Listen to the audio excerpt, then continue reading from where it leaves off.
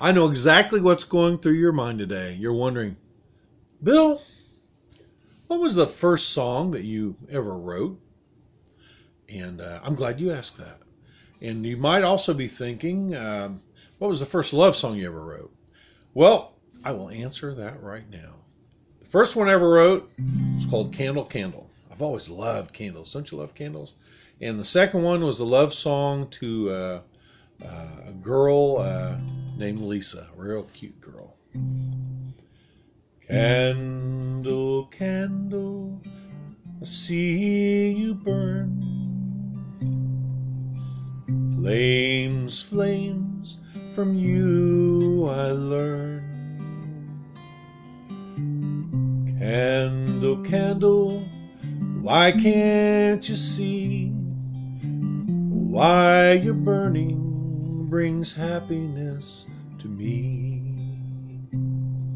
You burn and then you are gone, but the memories of you, they still live on.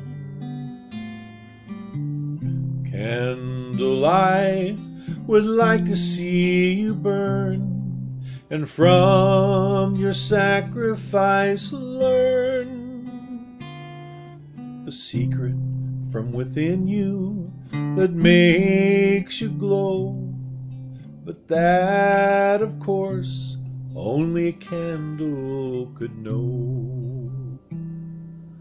Well, as you can tell, my writing hasn't improved much since then. I've uh, I kind of maxed out in grade school.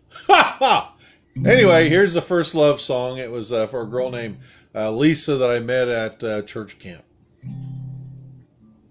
Her smiling face before me, her tender touch I crave. Oh, how she helps me make it through the day. Her cheerful voice I hear falling on my ear.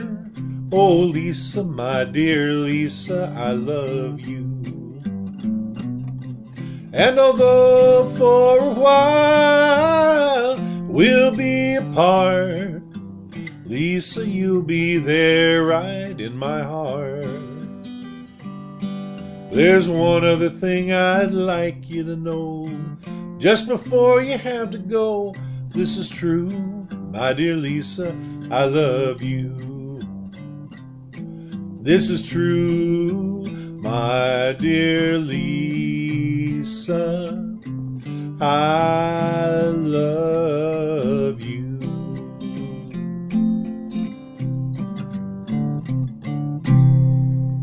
Well, there you go.